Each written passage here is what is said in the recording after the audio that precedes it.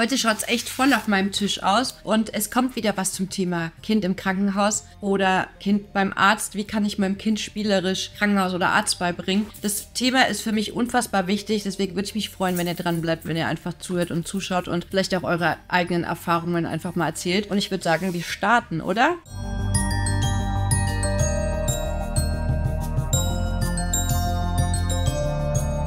Aufmerksam geworden bin ich auf dieses Set durch diese zwei kleinen Sachen. Da schauen wir aber jetzt gleich mal rein. Und zwar haben wir von Our Generation, das ist Our Generation macht Puppen. Die sind ganz schön groß, so wie die Schachtel aussieht. Ich kenne die in live noch nicht, aber aufmerksam geworden bin ich auf Our Generation durch diese zwei Sets, weil ich bin ja immer auf der Suche nach Spielsachen, die was mit Arzt und Krankenhaus zu tun haben. Da könnt ihr mir auch gerne in die Kommentare schreiben, was ihr da so habt, was ihr da so empfehlen könnt. Und zwar ist das eine einfach dieses Set. Da sind zwei Krücken drin, da ist eine Halskrause drin, da ist eine OP-Haube drin, ein Gips, ein Verband und so. Das machen wir gleich mal auf. Und dieses andere kleine Set ist mir auch in die Hände gefallen. Da haben wir ein Stethoskop, ein Fieberthermometer, eine Spritze und ein Blutdruckmessgerät drin. Aber das Allerwichtigste ist, was wollen wir mit diesen ganzen Sachen, wenn wir niemanden haben, mit dem wir das machen können? Und deswegen gucken wir erstmal, wen wir da drin haben. Äh, Harry, gehst du mal bitte vom Tisch runter? Du bist kein Spielzeug. Macht er da? Das ist wieder die kleinste Schere, die ich habe, um das aufzumachen. Aber, so, jetzt geht's los. Oh mein Gott, sind die groß. Die ist echt groß. Die ist richtig, guck mal. Das passt gar nicht komplett ins Video rein. Hey, wer bist du denn? Ali. Guck mal, wie süß. Die ist richtig cool. Und die ist halt auch echt groß. Wirklich. Guck mal, wie viel wir diesmal haben hier, um zu entfernen. Ich würde die ja auch wieder gerne in der Schachtel, danach in die Schachtel reintun. So, hier oben geht's auf. Hoppala, hier oben geht's auf. Wie süß die ist. Gefällt mir jetzt schon. Habt ihr Our Generation? Kennt ihr die? Weiß gar nicht, von welchem Unternehmen die ist. Weil hier hinten ist ein echtes Kind drauf und da gibt es auch eine Geschichte dazu. Vielleicht hat ja jede Puppe ihre eigene Geschichte. Klärt mich mal auf. Ich glaube, die ist nicht so verklebt, wie die anderen das sind. So. Und die hat sogar Augen, die ist, ah, die, äh, Augen, die auf und zu gehen. Augen. Hier ist wieder Tesa dran und unter dem Tesa, also unter dem Klebeband, ist erst das, was man aufschneiden muss. Leute, das geht so nicht. Wie gesagt, diese Schere ist halt alles andere als geeignet, aber ich habe jetzt gar keine Lust aufzustehen und irgendwas anderes zu machen. Sowas ist halt auch schön als Geschenk mal oder so, ne? Selbst wenn ihr keine Kinder mehr habt oder wenn ihr nicht mehr in der Spielzeugwelt unterwegs seid, könnt ihr sowas halt auch wirklich gut verschenken, weil es auch mal was anderes ist, als immer so die klassischen Sachen, die man so hat und kennt. Und ich finde, es ist wirklich sinnvoll. So, jetzt holen wir das ja auch gleich raus. Und dann können wir gleich diesmal schon starten. Nee, können wir noch nicht. Hier ist noch die Gummis. Ich habe das jetzt ausnahmsweise mal andersrum, sorry. Und hier auch. So, wir haben sie schon draußen. Sie hat rote Haare und sie ist richtig, richtig schön und auch stabil. Und sie kann stehen. Ihr wisst, dass ich es gerne mag, wenn Puppen einfach stehen können. Hier unten hat sie noch ein bisschen Folie. Wir müssen mal gucken. Der Zopf hier ist aber... Und sie hat kein Zubehör dabei. Also es ist wirklich nur die Puppe. Die Haare haben wir aufgemacht. Sie kommt mit einem Haarreif. Und hier unten hat sie noch an den Schuhen was dran, dass die Schuhe nicht runterfallen. Hat auf jeden Fall, guck mal, wie süß. Sie hat auf jeden Fall eine Strumpfhose an. Sie hat ein Kleidchen an. Ich glaube, es ist so eine Ballerina. Die Arme sind soweit beweglich. Der Körper ist aus Stoff. Also der ist weich. Man kann die Arme bewegen, aber sie bleiben nicht so. Genau, und sonst, also so hinsetzen geht. Genau, hier unten hinsetzen geht. Aber sie knickt die Beine zum Beispiel nicht ab oder so. Aber das ist jetzt für mich auch nicht wichtig. Bleibst du sitzen? Genau. Also sie kann auch sitzen und ich finde sie wirklich schön. Die Haare sind auch toll gemacht und die Augen haben Schlafaugen. Guck mal, wenn man sie hinlegt, schläft sie. Wenn man sie hinlegt, äh, hinstellt, dann wird sie, wird sie wieder wach. Oh, jetzt ein Auge offen und ein Auge zu. Ey, was machst du? Ich wollte doch gucken, dass die Leute dich mal sehen. Also sie ist wirklich richtig schön. Richtig schön. Und jetzt legen wir dich mal daher und dann gucken, oder wir setzen dich hier. Also mit dem Sitzen, muss ich sagen, klappt jetzt gerade nicht so gut. So. Aber da fällt sie immer irgendwie ein bisschen um. Stehen kann sie, aber sitzen muss man halt gucken. Aber sie ist auch eine Ballerina, guck mal. Das kann sie so sitzen. Und dann machen wir hier mal das erste Päckchen auf und schauen gleich mal, was da so drin ist. Wir hätten uns eine andere Schere holen sollen. Einfach eine andere Schere. Oder? Nee, das geht, das geht nicht. Okay. Aber Leute, dieses Öffnen und dieses Verklebte. Ich weiß es nicht. Warum? Warum? So. Jetzt aber. Hier ist auf jeden Fall, was ich richtig cool finde, ist einfach eine Krankenakte. Schaut mal, das ist so eine richtig kleine Akte, noch nicht digital, aber die haben wir. Und da ist so ein Zettel mit Name, Geburtsdatum und was man vielleicht da so machen kann. Es ist schade, dass da kein Block dabei ist, sondern dass es wirklich nur diese eine Zettel ist. Finde ich wirklich schade. Kann man da reinmachen und dann hat man hier schon mal die Krankenakte zum Patienten, zur Patientin dazu. Diese Sets sind extra bestellbar, sind bei Amazon erhältlich, habe ich euch natürlich auch in meiner Bio verlinkt. Könnt ihr einfach mal nachschauen. Also gibt es auch die unterschiedlichsten Puppen von Our Generation und es ist ein Stethoskop dabei. So ein richtiges Stethoskop. Gehört einfach dazu. Kann man mit den Kindern dann abhören lernen. Kannst du auch mal machen, oder hier? Einfach mal abhören, geht das? So, jetzt kannst du dein eigenes Herz hören. Schau mal. Und? Wie hört sich das an? Ich glaube, es hört sich gar nicht so schlecht an. Ja, sehr gut. Das haben wir. Dann haben wir so eine richtig kleine Spritze. Die ist sogar wirklich sehr realistisch. Aber geht sie auch? Oh, das habe ich, nee, nicht kaputt gemacht, aber. Also es ist wirklich so, wie eine echte Spritze aussieht, kann man auch spielen. Das Einzige, was ist, also ich habe das jetzt mal lose gemacht.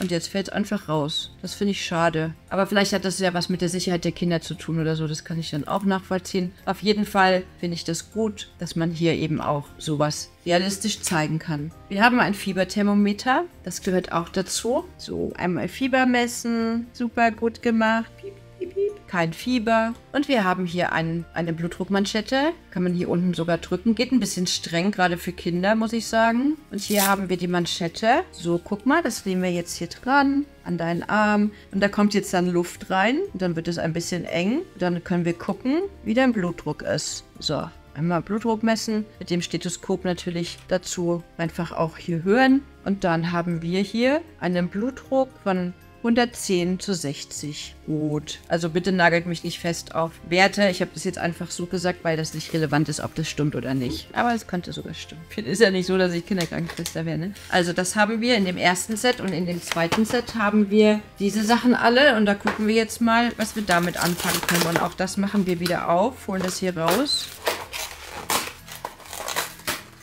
Oh, das mit dem Sitzen klappt aber nicht so gut, ne? Oder wie siehst du das? Boah, auch das ist wieder übelst verpackt. So, so. Ich weiß auch, was das alles ist. Also ist nichts dabei, wo ich sagen würde, das sieht aber komisch aus.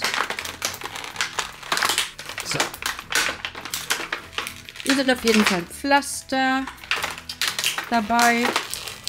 Dann haben wir hier noch mehr Pflaster. Das ist, glaube ich, weiß ich noch nicht, was das ist. Ah, hier ist ein Zettel, habe ich gerade gefunden. Our Generation. Haircare Guide. Das ist sogar ein Haircare Guide. Ja. Das ist auch auf Deutsch. Ja, genau. Wie werden meine Haare gebürstet? Also da steht auch dabei, wie man die Haare am besten kämmt, sodass die auch wirklich lange haltbar ist. Kein Föhn verwenden, nicht übermäßige Hitze aussetzen. Du kannst sogar die Zöpfe flechten, kleine Locken machen. Ja, und behutsam bürsten und so. Also auch das ist dabei. Aber bei der Puppe, natürlich hier nicht bei dem Set. Da haben wir einen kleinen Verband, Laster, eine Verbandschere. Oh mein Gott. Das ist auch süß. Also ihr könnt hier wirklich ganz viel mit euren Kindern üben oder spielen. Und hier gibt's... So. Jetzt schauen wir uns das auch genau an. Also, wir haben hier unter AMG-Stützen, also Krücken heißt das. Die schauen auch wirklich sehr, sehr echt aus und sind auch so wirklich, also sehen auch so aus, wie sie in der Wirklichkeit aussehen. Dann gucken wir doch mal, ob das hier auch wirklich gut passt. Also, du gibst deine Hand da rein und das machen wir hier. Nicht ganz von der Größe, aber fast. Aber es passt. Doch, es passt. Also hier seht ihr wirklich, dass das richtig gut passt und das ist schon realistisch gemacht. Also Daumen hoch für die Krücken. Hier ist ein Cold Pack, also das ist, da kommt Eis rein, wenn man jetzt zum Beispiel eine Beule am Kopf hat oder so. Hier kann man Eis reinmachen, dann hat man eine Beule am Kopf und dann kann man das dahin halten, irgendwo. Ich hätte gedacht, das ist, wenn einem übel wird, weil im Krankenhaus gibt es auch diese kleinen Tütchen, die man einfach aufmacht und wenn einem schlecht ist und man muss sich übergeben, dann kann man sich da rein übergeben und macht zum Beispiel das Bett nicht voll oder so. Ne? Also ich glaube, da sind der Kreativität auch keine Grenzen gesetzt. Ich finde das sehr süß. Es ist aus Stoff, also hier oben ist Kunststoff drauf, hier unten ist wirklich Stoff und dann kann man einfach gucken, für was man das verwenden möchte. Aber es kann für vieles verwendet werden. Das hier ist eine Augenbinde. Also wenn man sich das Auge verletzt hat, wird das Auge ja meist abgedeckt. Da wird dann unten drunter zugeklebt oder verbunden und dann kann man hier zum Beispiel das Auge zumachen.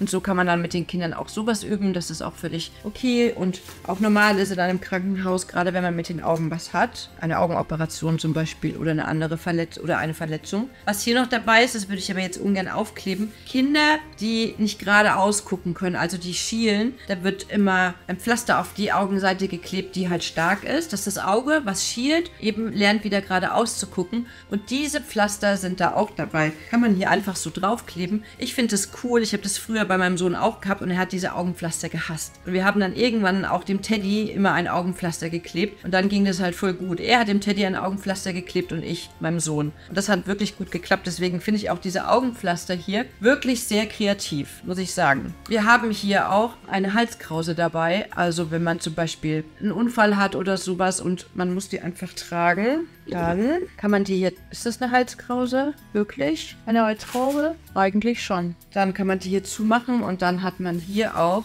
eine Halskrause. Gerade bei Halswirbelsäulenverletzungen und sowas wird das benutzt, verwendet. Und auch wenn ihr glaubt, dass eure Kinder niemals in, ihrem Leben eine Halskrause brauchen, was ich auch hoffe, es ist nie schlecht. Man konfrontiert die Kinder schon im Vorfeld damit. Ne? Also auch mit einer Halskrause können die Kinder ruhig im Vorfeld konfrontiert werden, dass sie einfach wissen, was es alles gibt. Und dann kann man im Krankenhaus immer noch sagen, so, hey, weißt du noch damals, bei deiner Puppe haben wir das doch auch gemacht und es hat super gut geklappt. Und so funktioniert es halt jetzt auch. Wir haben hier einen Gipsfuß. Den kann man so auf... Geht der denn auf? Also eigentlich kann man den sicherlich aufmachen. Da ist jetzt nicht... Ah, hier. Einfach ziehen. So, das hat so, so kleine Haken drin. Hier. Könnt ihr so... Und dann machen wir mal den Schuh da weg.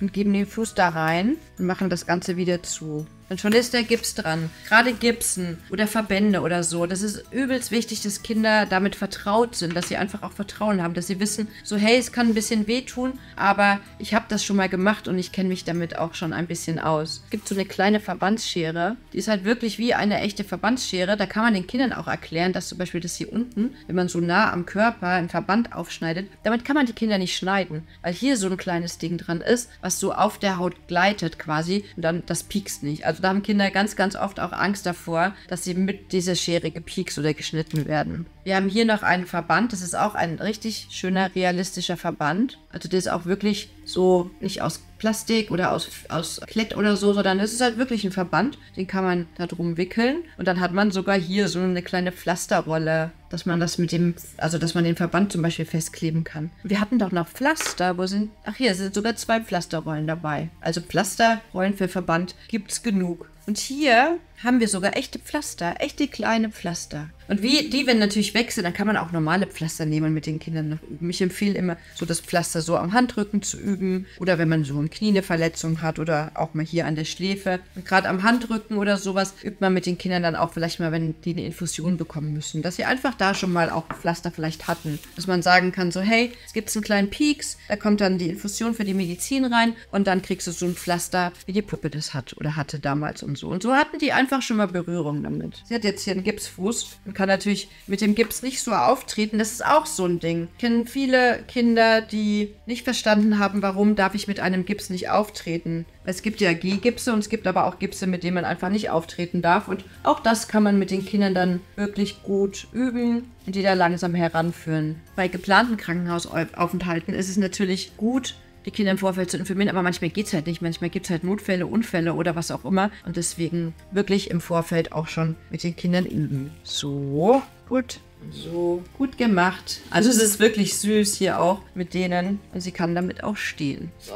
Wir haben also, es waren drei Sets. Es ist einmal die Puppe selber, die kommt ohne alles, nur das, was sie halt wirklich auch am Körper hat. Und vielleicht noch ein Accessoire, wie zum Beispiel hier hat sie diesen Haarreif noch oder dieses Haarband. Dann hatte ich das zweite Set. Das war eher so dieses Set, was man pflegerisch einfach hat, um Blutdruck zu messen, um eine Spritze zu geben, um zu üben. Wir hatten das Stethoskop und wir hatten das Fieberthermometer drin und wir hatten natürlich die Patientenakte. Das war das erste Set. Und das zweite Set war dann wirklich auch so diese Krücken. Wir hatten den Gips, wir haben diese Verbandsschere, wir haben den Verband und zwei Pflasterrollen einfach auch dabei. Das sind immer die Pflasterrollen. Dann haben wir diese Augenbinde. Und wir haben den Eisbeutel oder die Brechtüte, das kann man verwenden, wie man möchte. Wir haben die Augenpflaster, wenn die Puppe schielt zum Beispiel, wenn es da Probleme gibt. Das sind hier diese drei. Wir haben normale Pflaster, da sind auch zwei so Streifen dabei. Und wir haben natürlich auch diesen Gips, den man einfach hier aufmachen kann. Das war im zweiten Set alles dabei. Den macht man auf und jetzt ist die Puppe wieder geheilt, hatte sechs Wochen Gips, kann jetzt Physiotherapie machen. Und das war es eigentlich. Ich finde das mega cool. Man kann so viele Sachen davon machen. Und also wirklich, Leute, wie schön ist sie? Sie ist doch wirklich schön, finde ich. Also sie sieht wirklich gut aus. Und die fühlt sich auch gut an. Das mit dem Sitzen finde ich ein bisschen doof, muss ich ehrlich sagen. Aber dafür steht sie halt von alleine. Und sie hat einen weichen Körper. Also die Kinder können, wenn sie sie mit Katze, Harry, ich glaube, er hat kein Essen mehr. Also die Kinder können auch, wenn sie mit ihr ins Bett gehen zum Beispiel oder so, sich drauflegen und es ist einfach nichts hart. Ich finde Our Generation gut. Das Konzept, was dahinter steckt, werde ich mir noch anlesen, weil ich glaube, da stecken immer schöne und gute Geschichten dahinter. Ihr könnt mir ja mal schreiben, ob ihr da was davon habt, was ihr davon habt und wie ihr das findet. Und wenn ihr auch noch mehr Krankenhaussachen oder sowas habt, die man einfach hier auch mal vorstellen kann, schreibt es mir auch. Ich sage, das war's für heute und ich sage einfach auch bis zum nächsten Mal.